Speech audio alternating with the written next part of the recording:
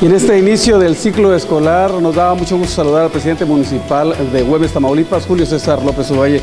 Presidente, ¿qué es lo que les depara a las escuelas del municipio de Güemes y sobre todo a los alumnos?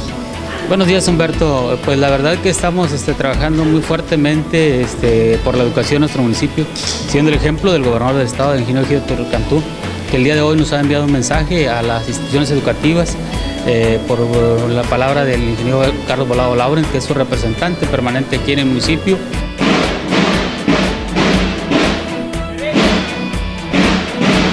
Y bueno, pues vamos a platicar con los niños que son quienes inician este periodo escolar. ¿Cómo te sientes? Eh, pues bien. ¿En qué año vas? Sexto.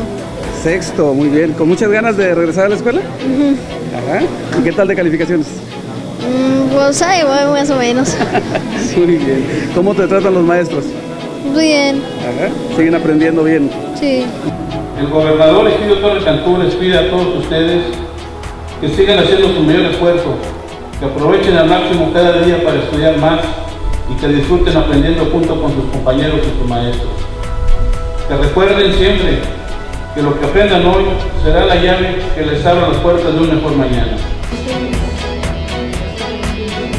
A ver, ¿qué, qué les han entregado, por cierto, en ese paquete de...? Unos libros Ajá. para estudiar. Muy bien. Y cuadernos para también estudiar y para útiles. Les va a ayudar mucho, ya no van a tener que gastar ustedes. Sí.